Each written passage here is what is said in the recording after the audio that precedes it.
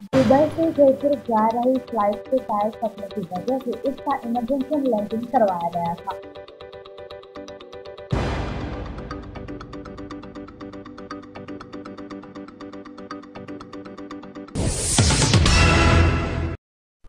नंदा देवी सेतु पर बर्फ़ में फंसे आठ पर्वतारोहियों के शव निकालने के लिए एनडीआरएफ समेत दो और टीमें रवाना हुई है।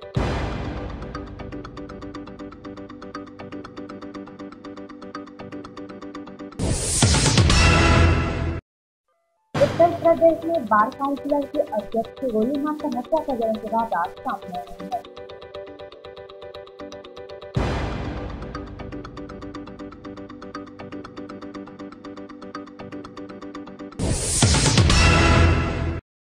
दिल्ली पुलिस की आर्थिक अपराध शाखा ने बार के साथ धोखाधड़ी करके भागने वाले लीडर मोती चड्डा को दिल्ली एयरपोर्ट से गिरफ़्तार कर लिया है।